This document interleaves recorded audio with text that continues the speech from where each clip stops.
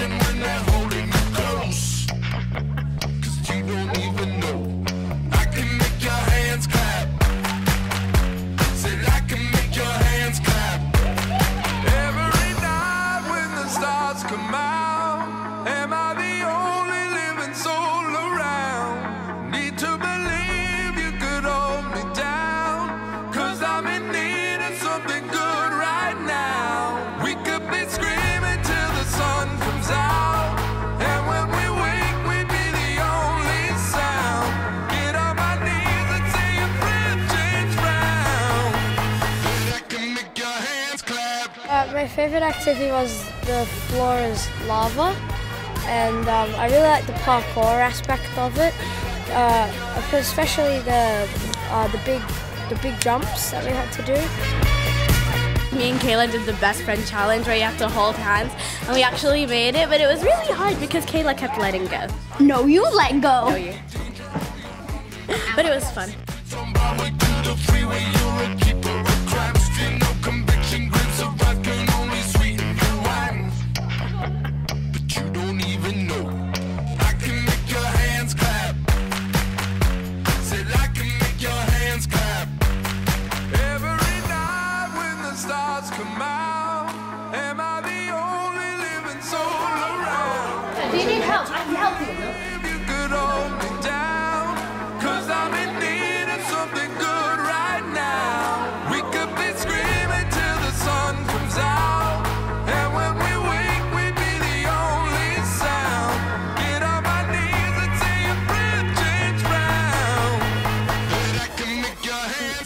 The parkour, there was uh, ropes you had to hold onto. You had to you had to climb uh, this wall, and then you had to find the puzzle pieces.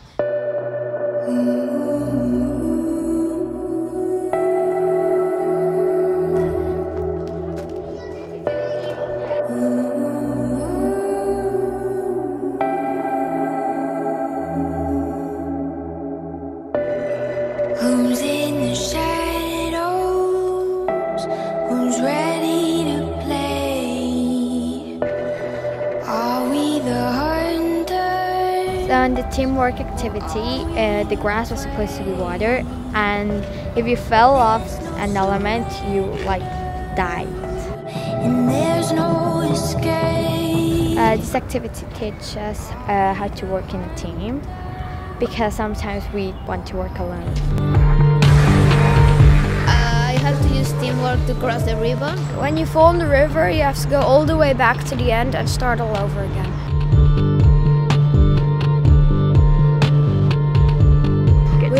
Teamwork and communication a lot while trying to get from one part of the grass field to the other. It was also really hard and you had to have balancing skills. When somebody was afraid to like cross over or to jump to the crate which was unstable, then everyone would encourage them and that's part of what communication is.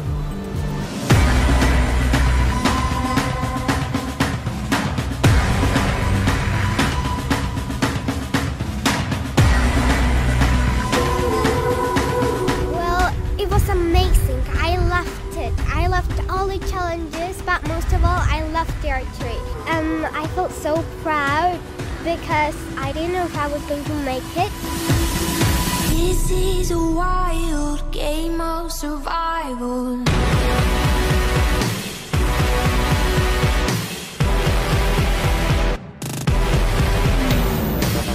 I was very surprised when Sarah hit in the middle of the bullseye.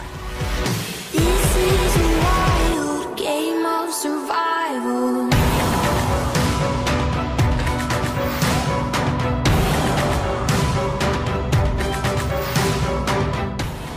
We need to develop intense focus and concentration.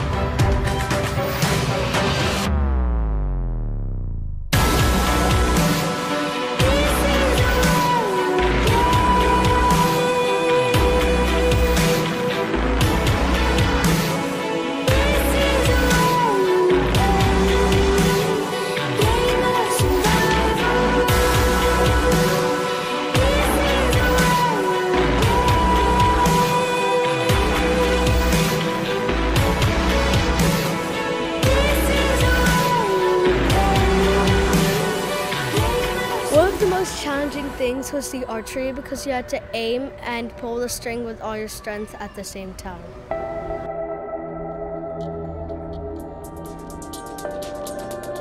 I couldn't hit the middle on the target, but I thought I need to concentrate. I concentrated, so I, the arrow that I shot it went closer to the to the middle of the target.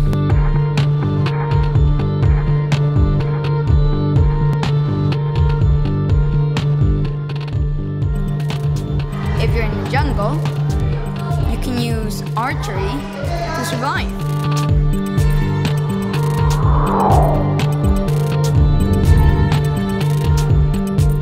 The personal goal I used was cooperation because at the second activity we did in To Survive, um, we used cooperation because we had to cross a river and with materials and with my group I really had to talk about which materials we had to put first and which materials we had to put last.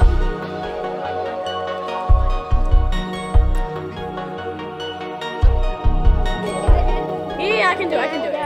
My favorite activity was when I went underground. I was, I was a bit scared because I didn't like the dark. First time I didn't like it at all, but when I went over the first time I didn't like begin to like it.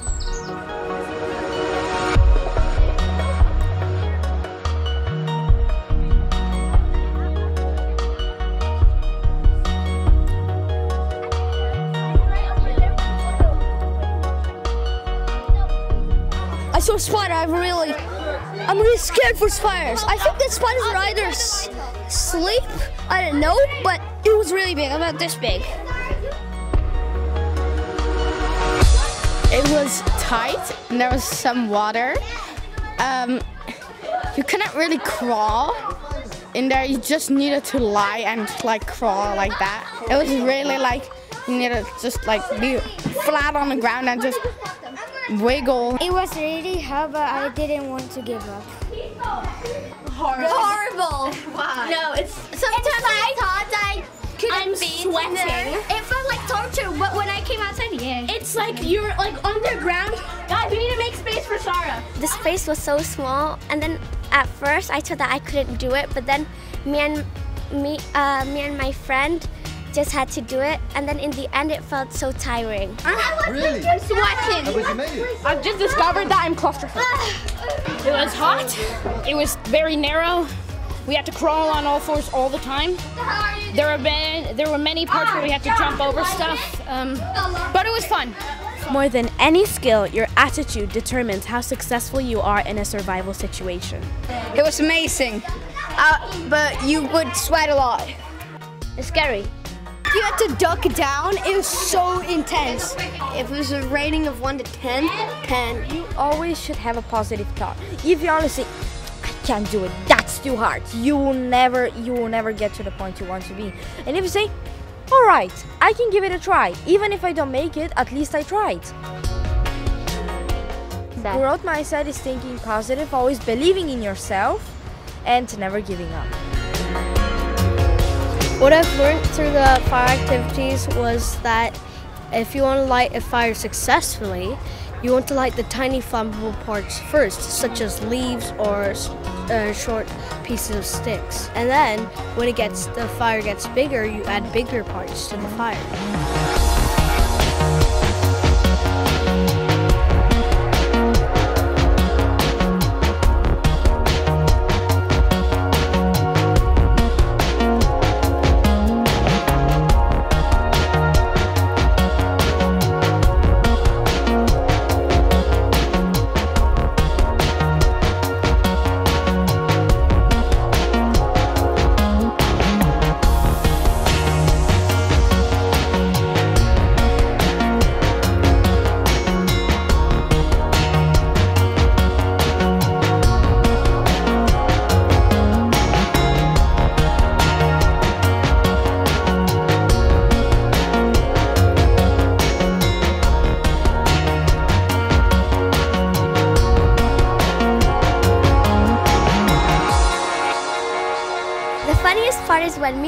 Fell into the swamp full of duckweed. We were climbing the ropes and we tried to not fall into the swamp. And then when me and Laura decided to fall into it, it felt natural.